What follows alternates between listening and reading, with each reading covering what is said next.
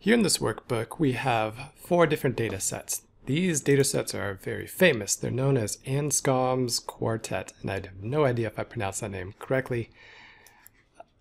It's just a bunch of sets of coordinates, x and y. So these variables don't represent anything, they're just numbers. But let's take a look at them. Let's just glance. So it's hard to make sense of the relationship of these values. Sometimes the x is less than the y, sometimes the x is greater than the y. Hard to really make anything out of that. If we scroll down to data set 4, we can see there's a whole bunch of 8s for the x and 119, but the y's are kind of all over the place. As human beings, it's hard for us to make sense of this data. So that's one reason why we graph things. So let's create some scatter plots. So I'm going to highlight this X and Y, and I'm going to insert, let's choose a scatter plot. I've got my X and Y's there. And I'm going to line this up. I'm trying to, I'm going to try to size these all the same so we can compare them easily. So I've got, of course, my, my X's and Y's. I'm going to do the same thing. Again, follow that same process. Same chart. Okay, visually I can see, yes, there's some difference in this data. I'm going to try to line, make everything exactly the same size. Now clearly I can see there's, I can see differences in the patterns of the data. We are visual creatures, so graphing things can be tremendously helpful anytime we're doing data analysis. So I'm going to choose another scatter plot here drop this down and resize it just a bit. Need to bring it up just a tad. Okay, it doesn't have to be perfect, but I do want it to look the same. Add another scatter plot. Okay, this one looks way different, right? You should, that should jump out. this is very, looks very much different than the other. Um, so we look at data set four, we've got a bunch of stacked values with one outlier. Data set three, it looks like we have a pretty straight line with one outlier. Data set two, we seem to have a curve. And data set one, we kind of have a trend going in one direction. But the data is a little bit spread out.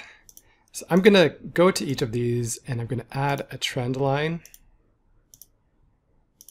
Now tell me what you notice about this trend line. You can say it out loud. what is interesting here is that the trend lines appear to have the same slope. Now our axes are not all equivalent, so I could change this. I could format this axis uh, to make sure it's the same across all of these so that when I represent them, I'm using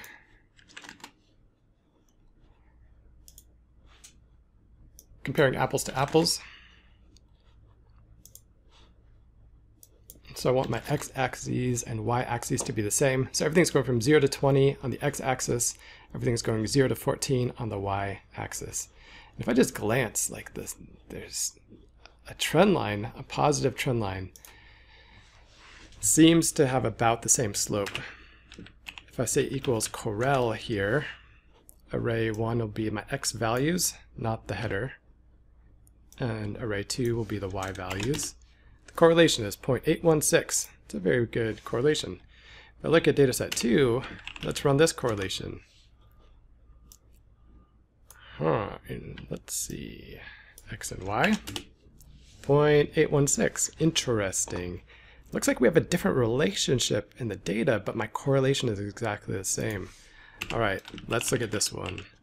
Correlation, hmm, my x's and my y's here 0.816. Interesting. This is, the relationships look different, but the statistics are telling me that these are the same.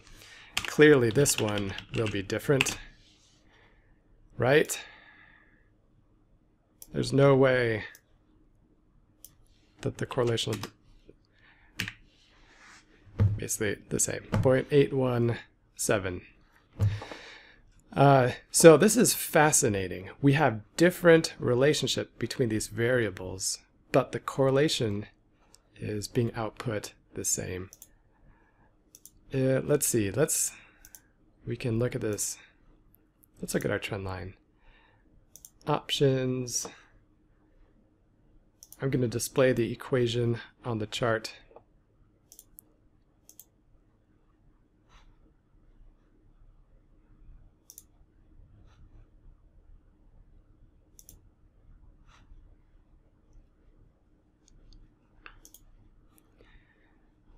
Doing the same thing, display equation on the chart. Okay, so if you remember your formula, y equals mx plus b. If we look at these, if we round this, you know, to one decimal place,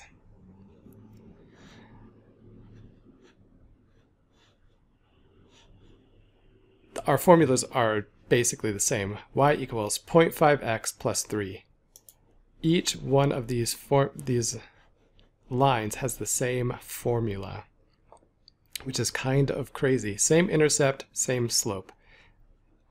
At least very, very close. if you round it to one decimal place, it's exactly the same. So kind of crazy. That is one reason why it's important to visually represent your data so that we can look for these types of relationships that might not be obvious.